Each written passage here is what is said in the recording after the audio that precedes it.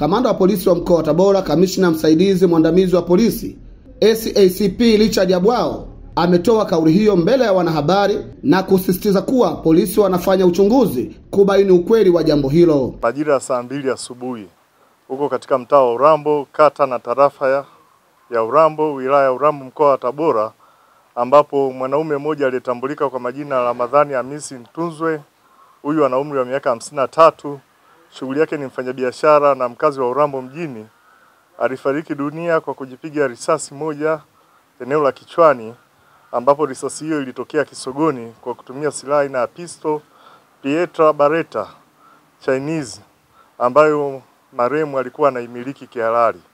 Tukio hilo lilitokea akiwa chumbani kwake na upelelezi unaendelea ili kuweza kubaini sababu za kuchukua maamuzi ya kujipiga risasi na kujiua. Marehemu hakuacha ujumbe wowote isipokuwa vipo viashiria ambavyo bado viko kwenye uchunguzi na sababu halisi itakapobainika basi taarifa itatolewa, lakini silaha hii iko kwenye mikono salama kwenye kituo cha polisi cha wilaya ya Urambo. Pia kamanda Abwao ametoa onyo kwa watu wote wanaomiliki silaha za moto kihalali kuzitumia sawa na malengo walioainisha wakati wa kuomba umiliki wa silaha hizo.